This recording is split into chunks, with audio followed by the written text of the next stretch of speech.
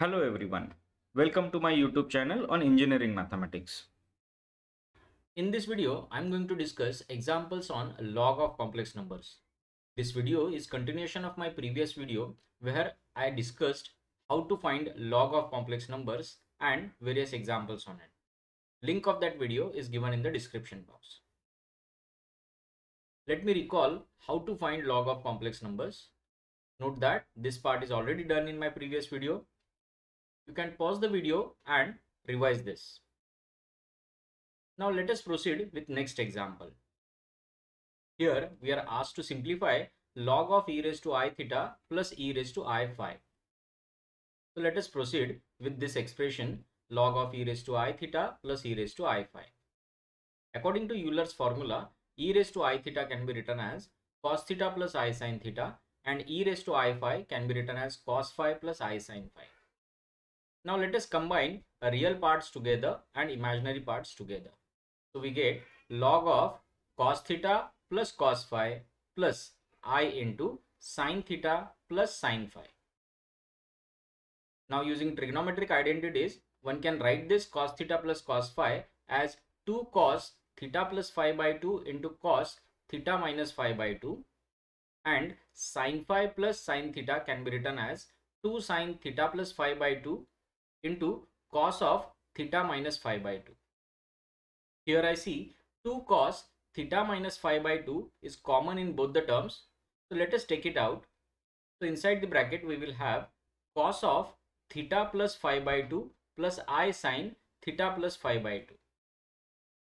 This is like e raised to i theta plus phi by 2. Now we have RHS as log of 2 cos theta minus phi by 2 into e raised to i theta plus phi by 2. This is like log of a into b. According to log property, log of a into b is written as log a plus log b. So this can be written as log of 2 cos theta minus phi by 2 plus log of e raised to i theta plus phi by 2.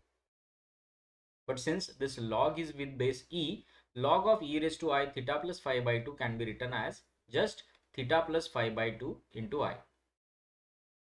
This is simplified form of the given expression log of e raised to i theta plus e raised to i phi. I hope guys you understood this part. Now let's go ahead for next example. Here given that if i raised to log of 1 plus i is equal to a plus ib, then we have to prove one of the value of a is e raised to minus pi square by 8 into cos of pi by 4 into log 2. So let us proceed with this statement which is a plus ib is equal to i raised to log of 1 plus i. Now taking log on both sides on LHS we get log of a plus ib and on RHS we get log of 1 plus i into log i. This RHS is due to log property which says log of a raised to b is equal to b log a. Now using principal values of log of x plus iy, log of 1 plus i can be written as half log 2 plus i pi by 4 and log i can be written as half log 1 plus i pi by 2. You can pause the video and check the calculation. Now we replace log 1 with its value.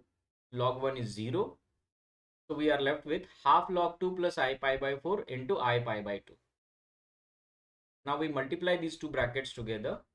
So we get i into pi by 2 into 1 by 2 that is pi by 4 log 2 plus i square that is minus 1 into pi square by 8. This is value of log of a plus ib. Now we will take exponential on both the sides to get value of a plus ib. So taking exponential on both sides, we get a plus ib is equal to e raised to minus pi square by 8 plus i pi by 4 log 2. This can be treated as e raised to x plus iy, which can be written as e raised to x into e raised to iy. Later, e raised to iy can be written as cos y plus i sin y. So we get RHS as e raised to minus pi square by 8 into cos of pi by 4 log 2 plus i sin pi by 4 log 2. Now we multiply this e raised to minus pi square by 8 into this bracket and then we compare both the sides for their real parts. on LHS real part is a whereas on RHS real part is e raised to minus pi square by 8 into cos pi by 4 log 2. So we see value of a is e raised to minus pi square by 8 into cos of pi by 4 log 2 as required. Hence this is proved. Now let us go ahead with example number 7. Here given that if e raised to i alpha is equal to i raised to beta then we have to prove alpha by beta is equal to 2n pi plus pi by 2. Let us see its solution. Given that e raised to i alpha is equal to i beta, then taking log on both sides, we get log of e raised to i alpha is equal to log of i raised to beta. But since this log is with base e, log of e raised to i alpha can be written as just i alpha on the other side, using log property, log i raised to beta can be written as beta log i. Now, using general value of log of x plus iy, log i can be written as half log 1 plus i into 2n pi plus pi by 2. But log 1 is 0. So on RHS, we are left with beta into i into 2n pi plus pi by 2. This i and this i will get cancelled so we get alpha is equal to beta into 2n pi plus pi by 2. Taking this beta on the other side, we get alpha by beta is equal to 2n pi plus pi by 2 as required. Hence the given statement is proved. Now let us go ahead with example number 8.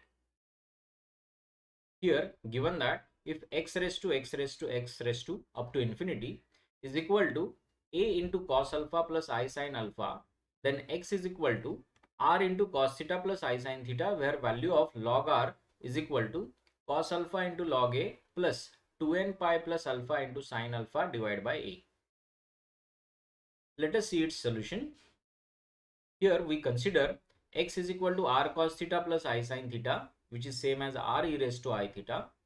Then we have to prove that log r's value is this. Now we use the given statement to begin which is x raised to x raised to x up to infinity is equal to a cos alpha plus i sin alpha. Using this statement recursively, one can write this as x raised to a cos alpha plus i sin alpha is equal to a cos alpha plus i sin alpha. Note that I have used this value in the power of x. So we get this statement. Now we take log on both sides. So we have a into cos alpha plus i sin alpha into log x is equal to log of a into cos alpha plus i sin alpha. Now we replace this x with its value r e raised to i theta and we replace cos alpha plus i sin alpha using Euler's formula e raised to i alpha. So we get a into cos alpha plus i sin alpha into log of r e raised to i theta is equal to log of a into e raised to i alpha. Now let us simplify this. Log of r e raised to i theta's principal value is log r plus i theta, whereas general value of log of a e raised to i alpha can be given by log a plus i into 2n pi plus alpha. Next, we take this a on the other side and then we do component wise multiplication of these two brackets which leads to cos alpha into log r minus theta sine alpha plus i into theta cos alpha plus sine alpha into log r on LHS and on RHS we will have log a upon a plus i into 2n pi plus alpha upon a. You can pause the video and check this multiplication. Further, we compare both the sides for their real and imaginary parts. So we get here real part as cos alpha log r minus theta sine alpha is equal to log a upon a and then imaginary part here is theta cos alpha plus sine alpha log r and over here imaginary part is 2n pi plus alpha by 8. I label this as equation number 1 and this as equation number 2. Now we solve these two equations for log r. To do so, we multiply equation 1 by cos alpha and we'll add it with equation number 2 after multiplying it with sine alpha. So we get minus theta sine alpha cos alpha plus theta sine alpha cos alpha. which will get cancelled and we will left with cos square alpha into log r plus sine square alpha into log r is equal to cos alpha into log a by a plus sine alpha into 2n pi plus alpha by a. Finally, we take out log r common from these two terms. So we get cos square alpha plus sine square alpha in the bracket, which is nothing but 1. So we left with only log r in LHS. And on RHS, we get cos alpha into log a by a plus sine alpha into 2n pi plus alpha by a. Note that this is the required value of log r, hence the solution. Now let us proceed for example number 9. Here we have to separate into real and imaginary parts of 1 plus i raised to 1 minus i. Let us see its solution. We begin by letting 1 plus i raised to 1 minus i as x plus iy. Then taking log on both sides, we get log of x plus iy is equal to 1 minus i into log of 1 plus i. According to principal value of log of x plus iy, log 1 plus i can be written as half log 2 plus i pi by 4. Then let us do component wise multiplication of these two brackets. So we have half log 2 plus i pi by 4 minus i into 1 by 2 log 2 minus i square that is plus 1 pi by 4. Let us separate real and imaginary parts. Here real terms are half log 2 plus pi by 4 and imaginary terms are pi by 4 minus 1 by 2 log 2. This is value of log of x plus iy. Now we take exponential on both the sides. So on left hand side we will left with x plus iy is equal to on RHS we will have e raised to half log 2 plus pi by 4 plus i pi by 4 minus half log 2. This is like e raised to a plus ib which can be written as e raised to a into e raised to ib. Later e raised to ib can be written as cos b plus i sin b. So this RHS becomes e raised to half log 2 plus pi by 4 into e raised to i pi by 4 minus half log 2. As I said, e raised to ib can be written as cos b plus i sin b. Also, this e raised to log root 2 plus pi by 4 can be written as e raised to log root 2 into e raised to pi by 4. E raised to log 2 is just root 2 e raised to pi by 4 as it is and this cos b plus i sin b as it is. This is value of x plus iy. But we assumed x plus iy as 1 plus i raised to 1 minus i. So this is nothing but value of 1 plus i raised to 1 minus i. It is clearly seen that uh, this is real part of 1 plus i raised to 1 minus i and this is imaginary part of 1 plus i raised to 1 minus i. So we have separated real and imaginary parts of 1 plus i raised to 1 minus i. I hope guys you understood all the examples that I have discussed in this video.